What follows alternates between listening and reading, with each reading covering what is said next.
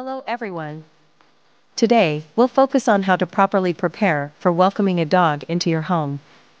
This crucial step is essential for building a successful relationship with your new furry friend. Let's get started. Point 1. Choosing the right breed and characteristics. First and foremost, consider the breed that best suits your lifestyle. Each breed has its unique needs and characteristics, so it's worth finding a dog that fits well into your daily routine. Point 2. Setting up the space. Once you've chosen a breed, organize the space in your home. Designate an area where the dog can sleep, eat, and play peacefully.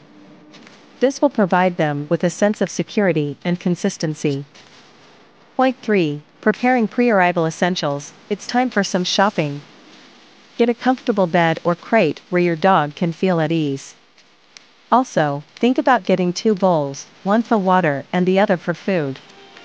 Finding suitable toys will also help keep your dog active and mentally stimulated. Point 4. Vet visit. Before your new dog arrives, schedule a visit to the veterinarian. It's important to establish a plan for vaccinations and health care.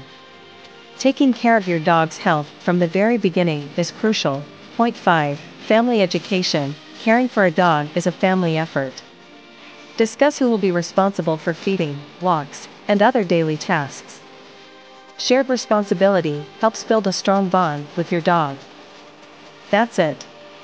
Remember, preparing for a new dog's arrival is the first step towards a long-lasting and joyful relationship. Thank you for watching, and see you in the next video. Subscribe for more tips.